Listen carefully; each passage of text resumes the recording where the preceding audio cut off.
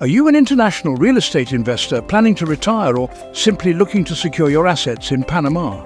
Let's talk about why transferring your properties under the name of a Panama private foundation is a game changer for you. Picture this.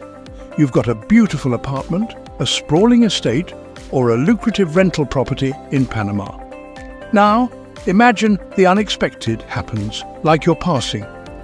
You see, if you're a foreigner with property in Panama, your family will need to undergo a testamentary process in Panamanian courts to inherit your assets. Sounds straightforward, right?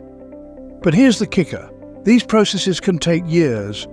We're talking legal fees, judicial expenses and other costs that can eat up 10 to 15% of your property's value. For example, if your property is worth $300,000, your family might have to shell out around $30,000 just to transfer it into their names. By establishing a Panama private foundation before you purchase real estate, you can sidestep these headaches entirely. Here's why Panama private foundations offer a triple benefit. First, privacy. Second, protection. Properties held under the foundation's name are legally protected from seizure. And third, a private testamentary plan.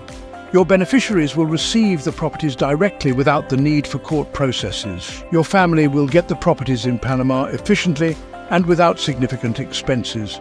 We're here to assist you with the formation of private foundations in Panama and to support you with any local real estate operations.